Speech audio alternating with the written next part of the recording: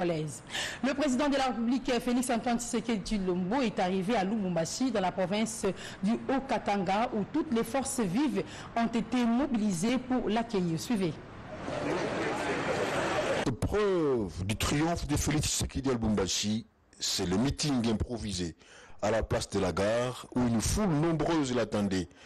Le chef de l'État tenait à remercier les Louchoises et Louchois pour avoir résisté aux sirènes des divisions. Le président de la République, Félix Antoine Tshisekedi Chilombo, est arrivé ce mercredi à Lubumbashi, capitale du Haut-Katanga. Une ville complètement acquise à sa cause, c'était visible déjà depuis tôt ce matin. Le chef de l'État revenu de Kampala, capitale ougandaise, où il a participé à la cérémonie d'investiture du président Yoweri Museveni, aux côtés d'autres homologues africain venu pour la circonstance. Pendant son bref séjour dans la ville qui plus fait, le garde de la nation va mettre à profit sa présence, notamment en recevant les autorités politiques administratives et les personnalités de différents horizons. Le programme de cette visite comprend ce jeudi matin, peu avant son départ pour Kolwezi, la tenue d'un conseil de sécurité de la province du Haut-Katanga. Parmi les personnalités présentes à l'aéroport cet après-midi, on retient le Premier ministre Samalou Kondé, le gouverneur de la province Jacques Kaboula, le directeur du cabinet du président Guylaine Niembo, le chef de l'État a aussi salué de nombreux autres notables nationaux ou locaux. C'est donc dans cette ambiance chaleureuse qu'une immense foule a envoyé l'aéroport et ses environs pour l'accueil triomphal du président Tshisekedi. La preuve, s'il en en fallait une, que Félix Tshisekedi a conquis la ville de Lubumbashi. Aussitôt entré en fonction, le nouveau gouverneur militaire du Nord Kivu a échangé avec les différentes personnalités politico-administratives de la province. Une part belle a été réservée à la représentante du secrétaire général des Nations Unies en République démocratique du Congo, chef de la MONUSCO, sur l'infaisabilité de l'état des sièges euh, décrété par le chef de l'État. Près d'une heure d'entrevue entre les gouverneurs militaires de la province et du Nord Kivu et la délégation de la MONUSCO conduite par Madame Bintou Keita, il y a de quoi prendre tout ce temps pour échanger sur les sujets qui touchent la sécurité dans cette partie du territoire national. L'état de siège, la restauration de la paix, le rétablissement de l'autorité de l'État, voilà autant de sujets parmi tant d'autres évoqués entre les deux parties toutes appelées à travailler en étroite collaboration pour que la paix revienne dans les zones touchées par les atrocités. Alors il a été question de parler du partenariat entre donc euh, le gouverneur et le vice-gouverneur et les collègues euh, qui sont basés ici à Goma euh, et qui sont aussi basés à Beni. Euh, puisque nous avons le chef du bureau de Béni qui est avec nous. Nous avons aussi euh, le chef du bureau de Goma qui est avec nous. Et nous avons aussi euh, le représentant spécial adjoint du secrétaire général qui est basé ici et qui s'occupe de la protection et des opérations.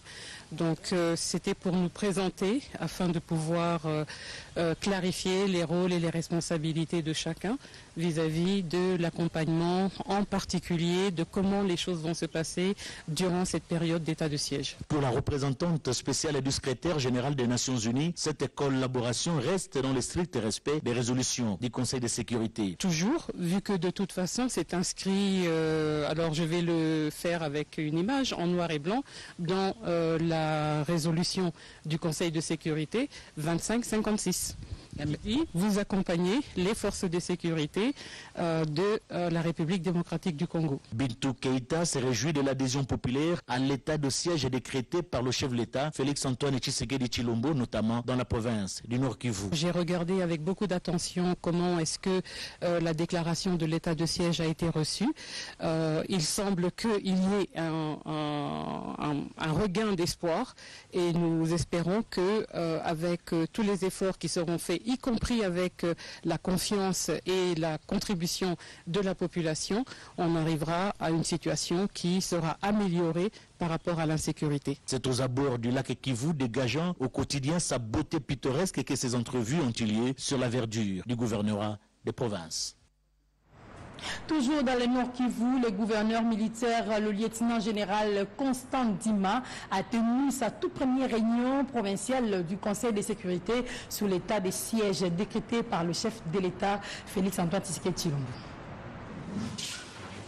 L'état de siège, il en était également question au cours de la réunion du Conseil de sécurité provincial présidé par le gouverneur militaire du Nord Kivu, le général Constant Ndima Kogba. Situation exceptionnelle qui exige une synergie des tous les services spécialisés et compétents appelés à regarder dans la même direction pour mettre fin à l'insécurité qui a élu domicile dans plusieurs contrées de la province et du Nord Kivu le plus rapidement possible tel que voulu par le commandant suprême des forces armées de la République démocratique du Congo et de la police nationale, le chef de l'État, Félix Antoine Tshisekedi Chilombo. Tous les services concernés y étaient représentés. L'attitude observée dans les chefs des participants à cette réunion témoigne à suffisance que l'air est grave. Chacun à son niveau de responsabilité a l'obligation de mener des actions axées sur les résultats, arriver le plus rapidement possible à restaurer la paix et à rétablir l'autorité de l'État là où il en faut. Enfin, le gouverneur militaire du Nord Kivu a fait une importante communication aux membres du cabinet du gouverneur sortant. Aux uns et aux autres, le général gouverneur a rassuré qu'il n'y aura pas de chasse aux sorcières, encore moins de table rase dans la gestion. Mais il y aura une importante dose de discipline qui amènera tout le monde au travail productif et que cela se fasse dans les normes. La ponctualité au poste de travail sera des rigueurs, faisant aussi sienne la continuité dans la gestion de la chose publique, ce malgré l'état de siège. Le général, le gouverneur, a souligné que tous les projets de développement amorcés par ses prédécesseurs seront poursuivis sans relâche, mais faudrait-il qu'il y ait des moyens financiers conséquents pour ce faire, d'où l'appel lancé aux services générateurs de recettes de multiplier la production, car les priorités sont énormes dans la province du Nord Kivu. Même exercice à la province de Lituri où le nouveau gouverneur militaire de cette province, euh, le lieutenant général Lubo Yankachama, lui a appelé le militaire et policier à la discipline pour relever les défis sécuritaires en Ituri et traquer le groupe armé. Suivez.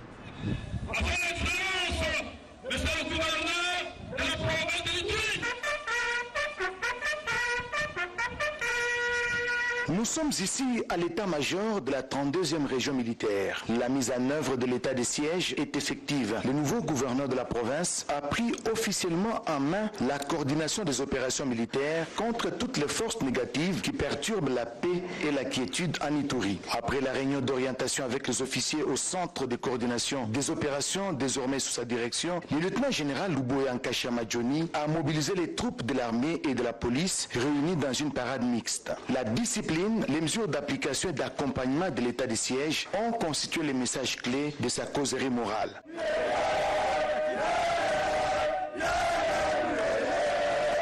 Vous savez que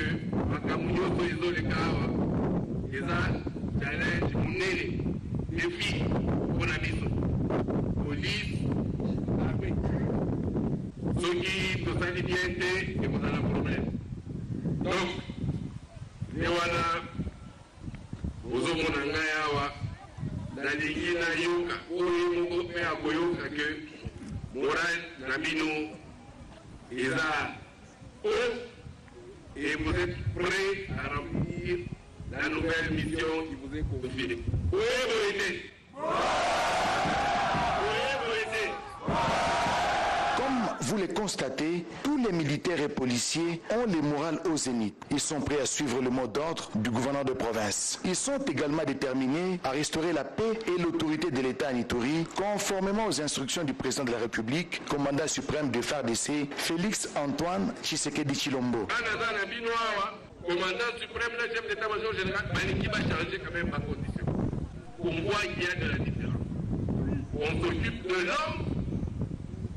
Et on s'occupe aussi des opérations. C'est l'homme qui est au centre et à Makamonyoto.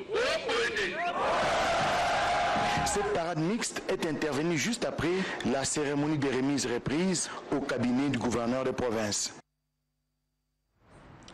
Et après cet appel du gouverneur militaire dans la province de l'Ituri, les forces armées de la République démocratique du Congo ont récupéré plusieurs barrières de la milice de Komiko.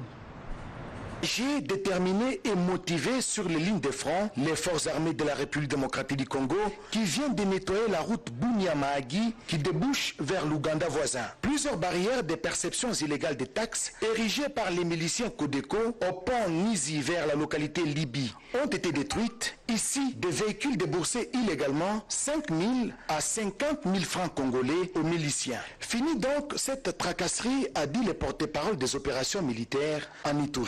Depuis ces jours, nous sommes sur deux fronts. Le front sud, dans le territoire du Roumou, nous avons combattu le groupe armé FPIC où nous avons récupéré plusieurs localités et libéré la RN27 où la circulation est revenue comme auparavant. Même le centre d'intérêt économique de groupe armé Codeco est passé sous contrôle des forces armées. Les véhicules passent librement. Le trafic sur la RN27 est sécurisé, rassure le lieutenant Jules Ngongo. C'est ce qui nous a mené aussi au front nord, dans le territoire de Djougou, où les vaillants militaires des forces armées vont de prouesse en prouesse où plusieurs localités également sont passées sous contrôle des forces armées qui étaient siégées par euh, ces renégats. Et d'ajouter, pendant cette période de l'état de siège, les FARDC ont récupéré plusieurs villages, dont Ala, Lobou, Sandoukou, Goudjo, Dera, Libi, Dina, des grandes agglomérations du territoire des Jougou, jadis occupées par des assaillants. Des opérations militaires de grandes envergures sont lancées en territoire des Jougou et Irumu. Les miliciens Codeco et FPIC sont donc avertis. Changeons de chapitre pour parler cette fois-ci de l'arrivée en Boujimaï à Kanyamaka Sissé de la cinquième vague de Koulouna. Le général-major Jean-Pierre Kassongo Kabouik a planifié au mieux ses voyages. De leur côté, les Koulouna appellent les autres à cesser de faire la violence à Kinshasa. Guillaume Koukoumami Ipanji nous en parle.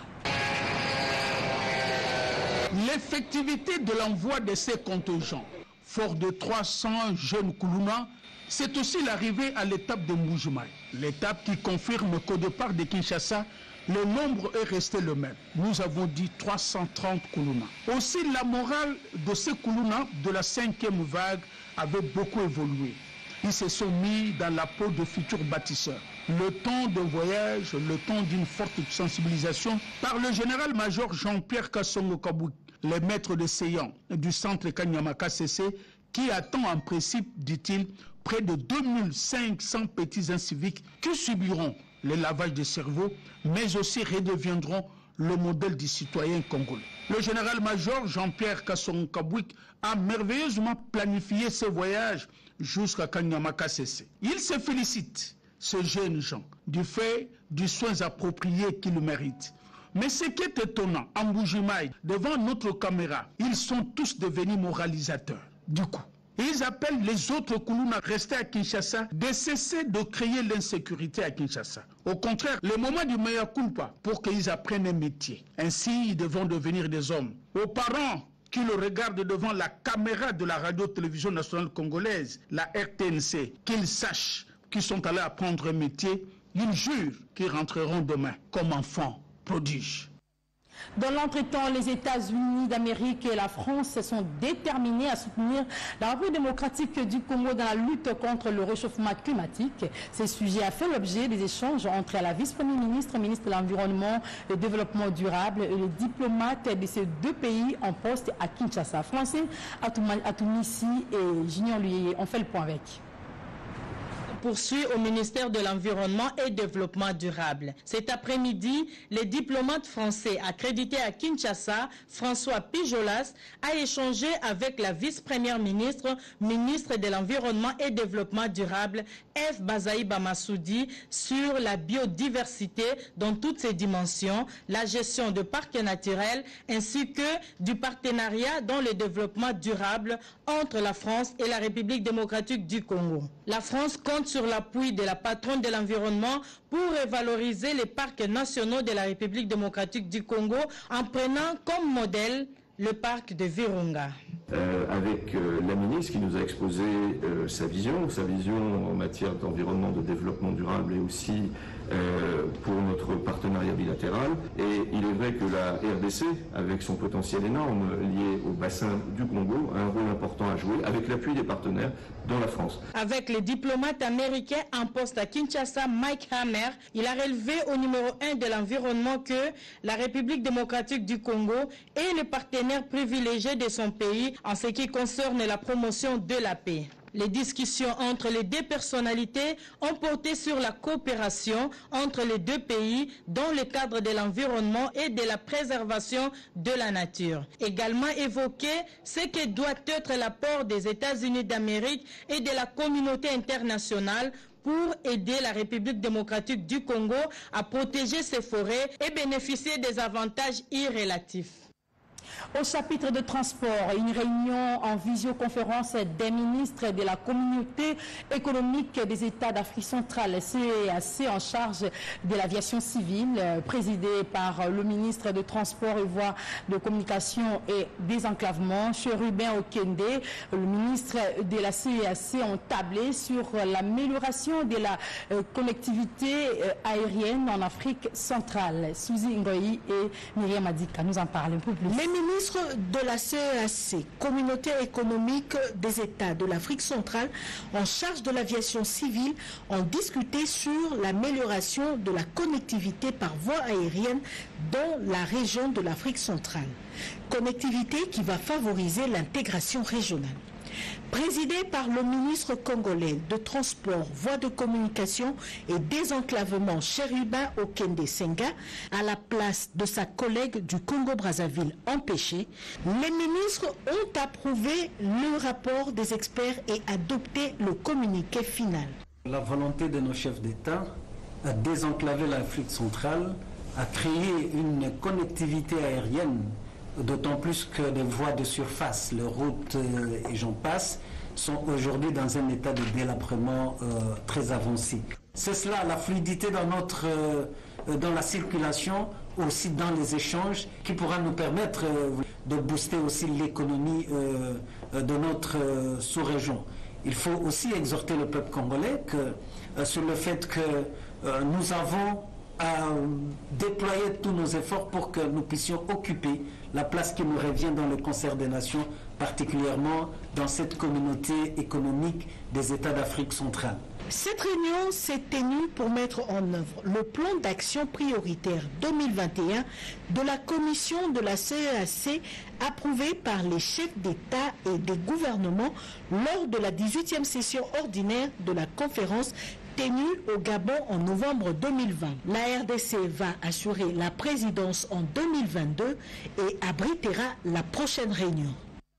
Bonne nouvelle pour la population congolaise. Il s'agit de l'arrivée prochaine en République démocratique du Congo de 8 millions de tonnes de riz, dont du Japon, dans le cadre de l'aide alimentaire destinée à la population. L'annonce a été faite par l'ambassadeur du Japon en République démocratique du Congo à la fin de sa rencontre avec le ministre d'État, ministre du Plan, Peggy Mukunda et Tony Juma. Le Japon veut poursuivre sa coopération bilatérale entre la République démocratique du Congo, cela à travers ses dons alimentaires, le financement dans les domaines de la santé et de l'éducation.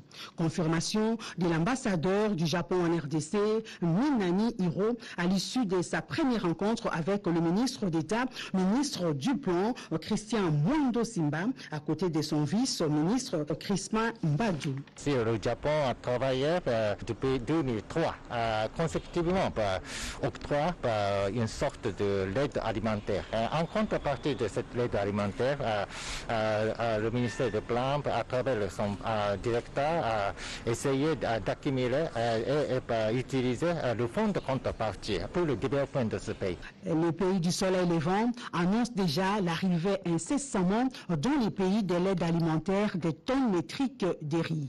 Ces dons destinés exclusivement à la vente afin de constituer les fonds de contrepartie du ministère du Plan pour le financement des micro-projets de développement socio-économique. Très positif, le patron du plan, Christian Wando Simba, a promis à ses hôtes de poursuivre avec le même élan de cette coopération bilatérale entre les deux pays et a rassuré ses interlocuteurs au nom du gouvernement de la République euh, sur l'utilisation à bon escient de la dite aide destinée à la population congolaise. La ministre d'État en charge du portefeuille a échangé avec le directeur général de Sonaïdroc, le président du conseil d'administration de la SCTP, ex-ONATRA, le comité de gestion des lignes maritimes congolaises sur les difficultés qu'il rencontre. Adèle Kainda a aussi échangé avec le ministre d'État Guy Luando. Angèle Mabiala pour le reportage. Deux ministères à caractère transversal, l'aménagement du territoire et celui du portefeuille. Adel Kainda et Guy Luando s'engagent à travailler la main dans la main pour atteindre les objectifs leur assignés par le président de la République. La ministre du portefeuille se dit confiante et appelle les mandateurs publics à s'investir pour que les travailleuses et travailleurs trouvent leur compte. Depuis sa nomination, le nouveau comité de gestion des lignes maritimes congolaises est déterminé à mettre en œuvre un plan innovant pour relancer cette société afin de lui permettre de jouer pleinement son rôle, celui d'assurer le transport des importations et exportations par voie maritime. Ce comité qui conduisait le président du conseil d'administration auprès de la ministre d'État en charge du portefeuille a fait un exposé sur les actifs et les passifs de lignes maritimes congolaises. Nous avons une nouvelle stratégie, a dit la mère Mende Omalanga celle de donner la priorité au transport maritime, que les lignes maritimes congolaises puissent redevenir un contributeur au produit intérieur brut de notre pays. Mais nous rencontrons plusieurs difficultés, notamment le vieillissement du personnel, la spoliation de plusieurs maisons appartenant à l'entreprise. Malgré tout cela, la bancarisation est assurée et la paye s'est faite à date échue, les 30e jours de chaque année. Pour la ministre d'État, les bateaux congolais doivent de nouveau être opérationnels sur les océans et les mers après plus de 25 ans d'absence. La finalité et que les marchandises congolaises soient transportées par les navires congolais et non par des navires loués comme le cas de ces dernières années. José Makila Soumanda, président du conseil d'administration de la Société commerciale de transport et des ports, du reste élu, rencontre une élue élevée au rang de ministre d'État pour lui présenter les doléances de son entreprise. Doléances prises en compte par le numéro 1 du portefeuille qui a promis de s'investir pour que la SCTP, qui a recouvré sa dignité il y a peu, continue dans la même lancée. La Banque mondiale en vidéoconférence avec Adel Kainda ce jeudi 13 mai 2021 sous la grande question du financement de cette institution de Bretton Woods dans les entreprises congolaises. La délégation du comité technique de suivi et évaluation des réformes est venue annoncer les couleurs. Sona Hydrox, cette entreprise publique, est confrontée à plusieurs problèmes dans son fonctionnement. Son directeur général en a fait part à la ministre d'État en charge du portefeuille. Hubert Mouawa est sorti du bureau de la princesse Adel Kainda avec un sentiment d'avoir soumis ses préoccupations à une femme battante qui va trouver des solutions à ses préoccupations dans un bref délai. Dans la rubrique santé, les infirmiers de la République démocratique du Congo ont commémoré hier 12 mai la journée internationale de l'infirmière dont le sous-thème est une vision pour les soins de demain. Ces infirmiers sollicitent l'implication des autorités pour qu'ils puissent avoir leur propre listing de paye comme les cas des autres ordres professionnels. Dalia Kakoudi et La profession infirmière, une voie faite pour diriger une vision pour les soins de demain.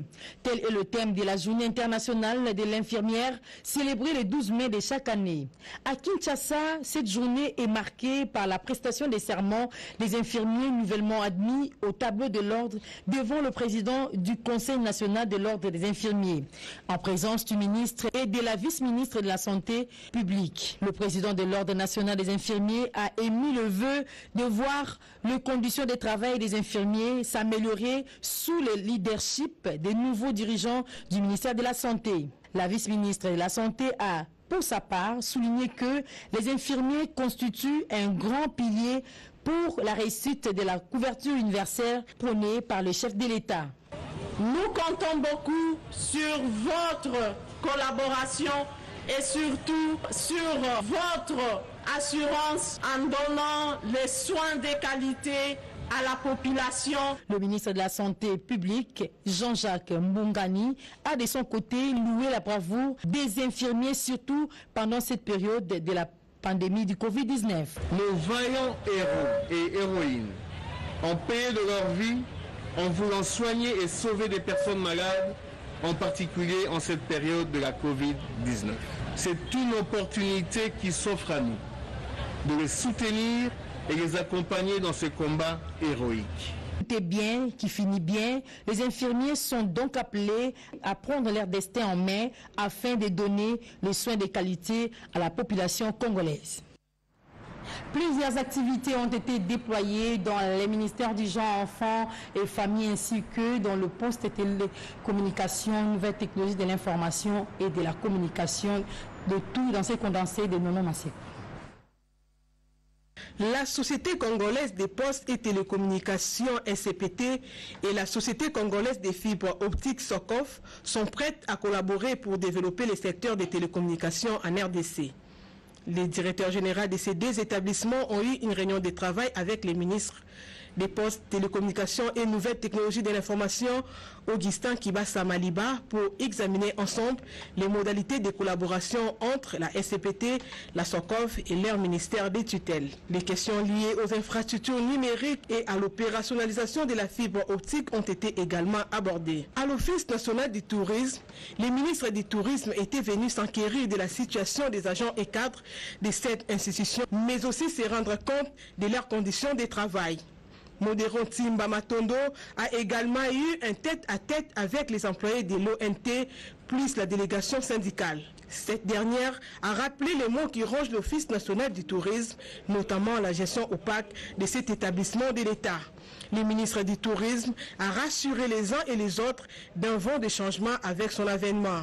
Modero Timba a promis de tirer au clair tout dossier flou à l'ONT, surtout les dossiers du présumé détournement de 5 millions de dollars. Au ministère de la formation professionnelle, la ministre Antoinette Kipoulou a eu un entretien avec une délégation de l'UNESCO composée de Jean-Pierre Liboudot et de Omam Diop, respectivement chef du bureau de Kinshasa, représentant de l'UNESCO en République démocratique du Congo et chef éducation et programme spécialiste. Les deux personnalités sont venues réitérer l'engagement de l'UNESCO de continuer à soutenir les dix ministères. Jean-Pierre Liboudot a profité de cette occasion pour remettre en main propre du ministre l'invitation à participer à un dîner de travail qui se tiendra à Kinshasa le mercredi 19 mai 2021 au Congo Fleuve Hotel. Au ministère du Genre, Famille et Enfants, l'air est au lancement de la campagne Tolérance Zéro en matière de violences basées sur le genre par le chef de l'État Félix Antoine Tshisekedi Chilombo. Confirmation donnée à la conseillère spéciale du chef de l'État en matière de violences faites à la femme à l'issue de l'audience lui accordée par la ministre du Genre, Gisèle Ndaya Luseba. Par la suite, la patronne du genre, Gisèle Ndaya Luseba, a présidé une série de réunions de travail avec les membres du panel chargé de la question du genre, déterminé à accompagner le président de la République durant sa mandature à la tête de l'Union africaine. Dans la même journée, la ministre a également échangé avec la conseillère spéciale de la directrice exécutive de l'ONU Femmes au Mali sur les stratégies de lutte contre les violences basées sur les genres. Au ministère du numérique, l'ambassadeur extraordinaire et plénipotentiaire de la République populaire de la Chine en République démocratique du Congo, M. Zhu Jing, a promis au professeur Désiré Cachemire Eberan Kolongele, ministre du numérique, l'appui de son pays pour réussir sa mission à la tête de ces nouveaux ministères. Les deux personnalités ont également échangé sur la coopération entre la Chine et la République démocratique du Congo dans le secteur du numérique. C'est un secteur tellement important, crucial pour la l'avenir de nous tous, a dit l'ambassadeur chinois. Donc, les renforcements de la coopération bilatérale dans ces domaines s'avèrent très importants. Au ministère de l'Industrie, il s'est tenu la 13e réunion du comité de pilotage national des restructurations et des mises à niveau des entreprises présidée à Kinshasa par les ministres de l'Industrie.